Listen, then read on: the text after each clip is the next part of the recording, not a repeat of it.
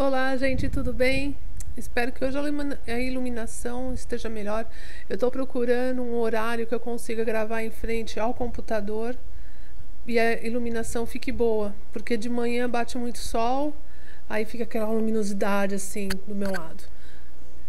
Aí de tardezinha para anoitecer, a luz da minha cozinha não ilumina o suficiente, aí fica uma coisa meio embaçada, igual aconteceu no, no vídeo que eu fiz sobre a série The Closer, semana passada.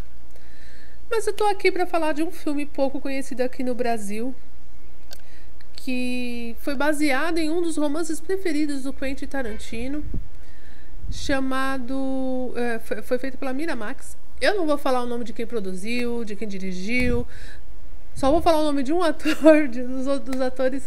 É, também não vou falar porque tem muito nome russo, muito nome. E eu não, não consigo, tá? Aí é pagação de mico total. É, vou falar de My Name is Modeste. Primeiro lugar, foi difícil achar. Não, não foi difícil, porque eu liguei pro Yazieta, me ajuda, eu quero um link para assistir esse filme, porque eu queria assistir esse filme de qualquer jeito. Aí ele foi lá, conseguiu para mim um link, conseguiu, só que a legenda embutida era russa, e a legenda que ele me mandou não funcionou, só que eu uso o BS Player e o BS Play caça a legenda. Só que a legenda, mesmo assim, não tava lá essas coisas. Então eu tive que usar o meu ouvido para tentar entender um pouco das conversas. E ele é um filme que tem mais falação do que ação. Não que não tenha ação, porque tem ação, mas tem muita falação, você precisa estar concentrado. E eu descobri que tem algumas coisas que eu já estou entendendo de ouvido, gente. É muita felicidade para uma pessoa só que tem mega dificuldade com a língua inglesa de ouvido entender algumas falas. E não é, também não é tão difícil porque eles falam no, no é do, do, filme mesmo, eles falarem pausadamente, frases curtas, não tem aquelas explicações é, compridas. O filme é curto, tem uma hora e quinze, dá uns 75 minutos. É, fiz umas anotações aqui para eu não me perder. Então, vamos já falar. A cena inicial de My Name is Modeste é fantástica. Eu dei uma pesquisada, parece que tem um livro mesmo com esse nome e tem quadrinhos, se eu não me engano. Então, fantástico a, a, a trilha sonora, a, a, música inicial do filme com, com os negócios no estilo quadrinhos, assim, eu achei muito legal que apresenta os créditos de direção. A primeira cena mostra um grupo de soldados parando em, nas ruínas. Eles estão em algum lugar na, em Balcãs lá. É um conflito que está tendo lá em Balcãs.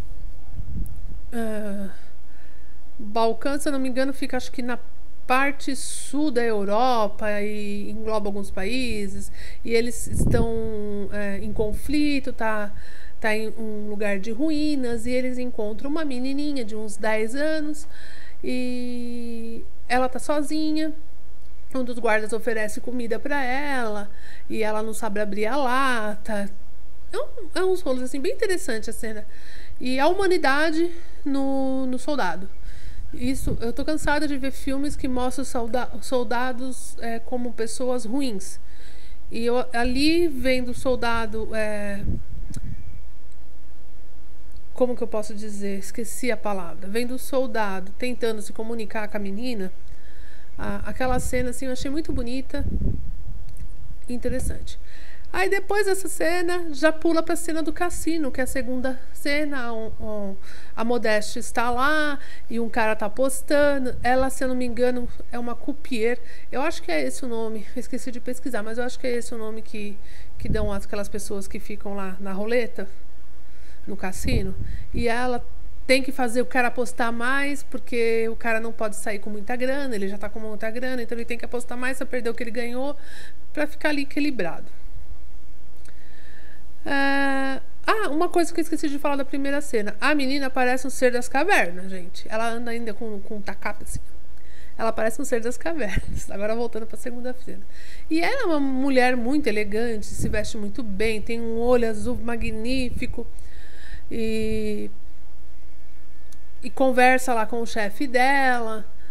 Nisso, ela tá lá fazendo o cara perder. Entra o Raymond Cruz, que ele faz papel de Rafael Garcia, começa a conversar com o chefe, eles estão falando da Modeste, e depois o chefe sai, vai embora, vai para algum lugar, aí acontece uma cena lá em Tarantino, bem estilo Tarantino mesmo, e aí volta, é, a cena pro cassino, aí acontece mais algumas coisas, mas aí nisso a Modeste e o Rafael Garcia estão conversando e o Rafael, não, eu vou para casa da minha namorada agora, eu preciso ver minha namorada, tchau, tchau, que não sei o que. Volta, aí chega mais um pessoal, esse pessoal entra lá para roubar o cassino e várias cenas de ação e é quando a Modeste faz uma aposta com o mandante lá do do grupo que está assaltando o cassino. Só que antes dela fazer essa aposta, ela tem que ligar pro Rafael porque o e mandar o Rafael voltar, porque o Rafael é o único que tem a, chave, a senha do cofre. E ela fala com ele, e ele larga depois a namorada dele lá e vai uh, pra, pro cassino. Enquanto, só que ele tá longe, enquanto eles esperam o Rafael chegar, ela faz essa aposta, esse jogo de aposta, e assim, se ele ganha, ela tem que contar a vida dela. Se ele perde, ele tem que soltar um dos reféns. E fica naquele.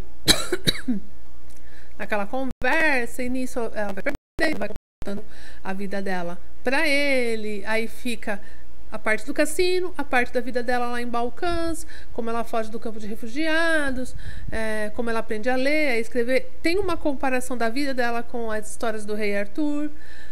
Essa parte é um pouco cansativa. Mas eu achei bem interessante. Depois já pula pro, pro final do filme. O, ele, ele, ele tem que sair de lá. Eu não vou contar mais, senão perde a graça. E. E é mais ou menos esse o filme. Por que eu resolvi assistir My Name is Modeste? Pra quem não sabe, é porque não vê as coisas que eu comento aqui de filmes e seriados, mas eu sou mega fã, eu me descobri mega fã do Raymond Cruz. E eu tenho procurado trabalhos deles porque é um ator pouco divulgado. Começou a ser divulgado por causa da série The Closer, por causa de uma participação que ele fez em Breaking Bad e no My Name is Soul, que é a continuação, spin-off de Breaking Bad. Continuação não, é um spin-off de Breaking Bad porque a história do My Name is Saul passa antes do Breaking Bad. Então, por causa dessa, dessas participações especiais e, e, e de um trabalho antigo dele, como sempre ator secundário, ele começou a, a, a ficar um pouco conhecido. Hoje ele trabalha uh, como um dos principais do elenco de Major Crimes eu, se eu não me engano, deve estar na sexta temporada, eles devem estar gravando sexta temporada.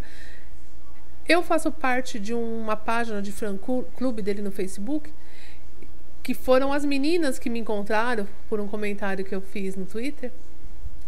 E, gente, o cara faz trabalhos de ações sociais incríveis. Eu acho ele uma pessoa iluminada. Então, ele não é só um ótimo ator. Ele é um ser humano do bem. E eu gosto de valorizar essas pessoas eu já fiz um, um, um, comentário aqui também de um outro filme que ele fez, que ele fez a papel principal, que é Sequestro Cleveland, que ele faz papel de mal. E é incrível o trabalho que ele faz. Incrível. Sou incrivelmente fã desse cara. Eu espero que vocês gostem do Modeste, é, My Name is Modeste.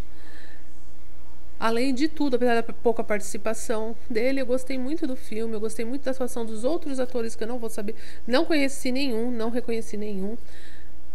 Vale a pena assistir. O filme só saiu em DVD. Não sei se tem a venda no Brasil, infelizmente, mas quem baixa filme da internet pode com certeza é, procurar aí o te baixar, que vale a pena ver. Espero que vocês tenham gostado da minha indicação. Um beijo grande. Segunda-feira eu tô aí com indicação de livros. Ah, e de sábado e domingo tá tendo videozinhos. Tem sábado e domingo que tá tendo videozinho sim. Todo domingo vai ter um videozinho falando sobre mim. Eu, escritora, contando como é escrever, como foi escrever Chamas da Morte e como está sendo escrever A Noiva da Rua Nery Costa. Um beijo grande para vocês. Não se inscrevam, não se esqueçam de, de se inscrever no meu canal. Bom fim de semana. Até a próxima. Tchau.